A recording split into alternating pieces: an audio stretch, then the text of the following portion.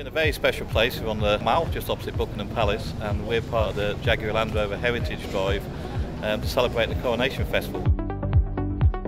Jaguar and Land Rover got the very first royal warrant in 1951, one year prior to Her Majesty ascended the throne.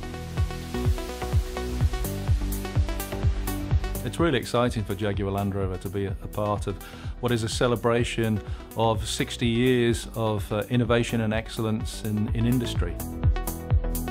We've got 11 cars, Jaguars and Land Rovers, and we've been driving around the original coronation route.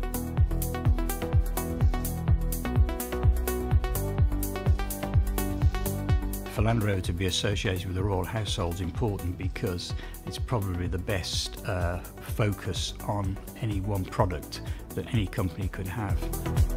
We've got some very personal cars for the royal family. Uh, one of my favourites is actually the Queen Mother's car. We also have cars that have been driven personally by the Her Majesty the Queen. These are her own personal cars from the Land Rovers and Range Rovers where the Queen's been uh, transported around the world and, and um, travelling to all these events. So it's been very special cars. Land Rover is favoured by the royal families because they can get to all of their interests, whether it's country, sports or uh, the association with horses by using a four-wheel drive vehicle.